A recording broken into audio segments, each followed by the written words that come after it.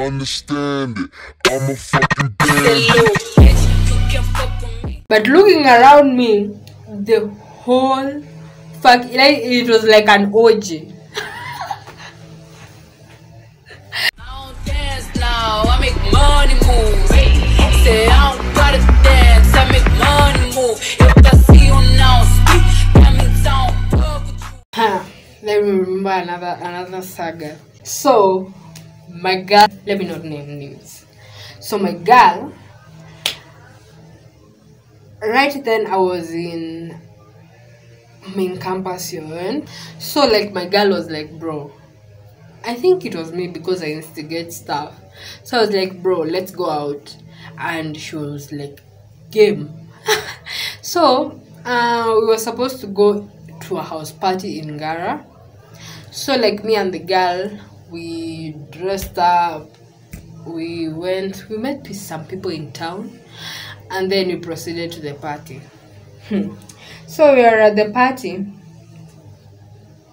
Me and my girl split up because like I couldn't see her. I got into the party, like they were serving drinks, like a lot of drinks. There was a lot of drinks involved, so they were serving drinks. So like as usual, I don't drink. So like I, I convinced there were there were some things there, like like I, I could take. So me I was just chilled, getting into the vibe, but I was uh, low key, high key, regretting being there. So after some time, like my girl just vamoosed, like she wasn't even around. Not my girl, my girl, like my homie, like you get my friend. My friend was just not there. So we had split up. So after some time, like after I had danced, I had just had a good time, I sat at the edge of the bed and after some time I, I slept. So in the middle of my sleep, I'm being rocked. So I am I wonder like what is happening because it is a spring bed, like I'm being rocked like up and down. So I wonder like what is happening. Hey, looking besides me. and even around me, it is not even beside me that was the the worst part. Looking besides me, there were people having sex, which is okay. But looking around me, the whole fuck, like it was like an orgy. the whole fucking room, like everyone was having sex, everyone was having. Wow. And my girl, who was like, not my girl, it is a person like I don't know. I, I had met at the party. Like she was drunk, and this boy who was like kissing on her and touching, touching her, was like he, he, he understood like he was he was not as drunk as the girl, but the girl was just like, yani she had blacked out. Let's just say that this guy this guy was kissing on her and all that like everything that was happening and I was like bro what if in the morning this girl realized like she had sex and she doesn't even remember does she even know this guy. But because i am there for a party minding my fucking business you know there's there's a certain situation that i will have stopped if like i saw like things were bad if something that was not supposed to happen was happening but this time like i just decided to mind my business. Like it was so crazy like i just went back to sleep. I didn't even know what the fuck to do because i just i just went back to sleep. I'm sorry for the background noise. It's the person like the staff is cutting the grass so it's loud. Again sorry for the noise. It's grass being cut and you cannot avoid that so your girl is not new to to sleeping in jail because like I've been there because of shisha. Like this guy is like just caught me like they took me in with people who had shisha and we were all like put under the same the same charge and it was these days where shisha was like illegal. It was just like it had been banned like friday and saturday we were caught. So i am not new to being caught to sleeping inside. So there's this one time we were like from it was like my friend's birthday party. So like we were coming from she had like put some like she had arranged for a barbecue like not really a barbecue for people to like get like meet up in a hotel and eat cake and eat like nyama choma what do people barbecued meat yeah. As we were getting from the venue to the club and we were in Hurlingham there was this police car that was coming like slowly. You know how police cars creeping was coming slowly behind us. So me like my ghetto mind was telling me take off your heels run. My friend and her friends like were not even startled. Like the police person you know the police guy spoke english that's why i knew i was in Hurlingham. hey and was like bro where you guys from?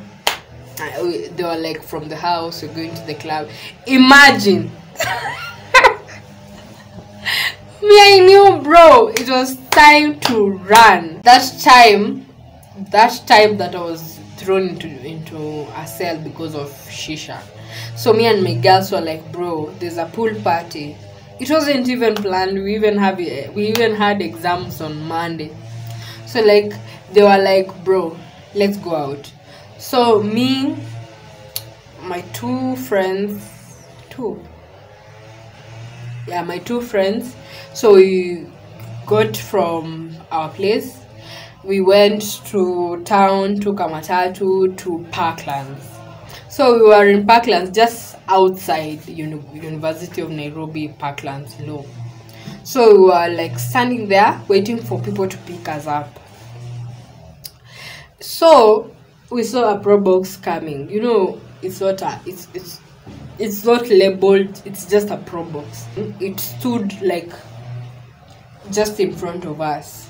So as it stood there the guys inside the Probox were asking us questions. Where are you going? Like why are you standing there? Like intrusive questions for a stranger. So one of my friends snapped and was like bro why are you harassing us? We're just here standing. You guys are harassing us.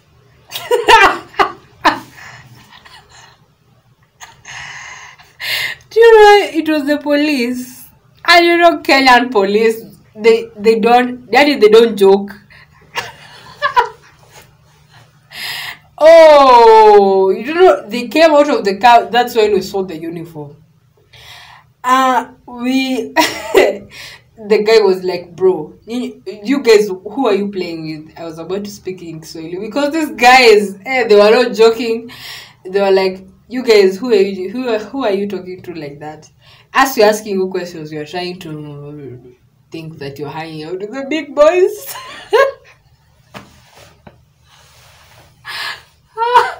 You're hanging out with the big boys. Who the fuck? Who do you think you are? Eh? This guy was just on the radio calling like the patrol car to come pick us up so that we can go like into like we can be taken to a cell. Eh, me I thought like bro, see this is the time where like we we give like something small. oh, these guys are like are just joking. They just want us to be afraid. Eh? It was not until the the police car came. Did I know that it was on this particular drive that she knew she fucked up? We were in, on the Range Rover now. Now we went like a few kilometers from where we were. We picked other people who were like roaming around, and one of the guys just took off. Yani ran. The police car was the police guy was like, "Let's give him a let's give him a head start." This guy thinks that he can run away from the police, so they caught him.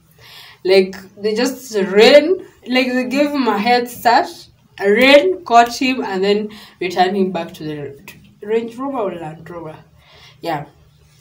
So so the guys in the car like the guys at the back of the car was like we were like ah, these guys are just driving us around then they drop us after like they scare us hey we went to sail you know we went sail and slept there. Hey the pool party that we were, we were trying to go to like during the night that's how it just went down the drain. Yani the conditions were the conditions were so bad. Yani the, there was no toilet.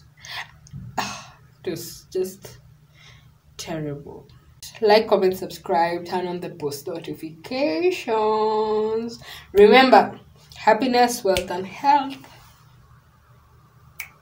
peace till Friday, 9 a.m. East African time.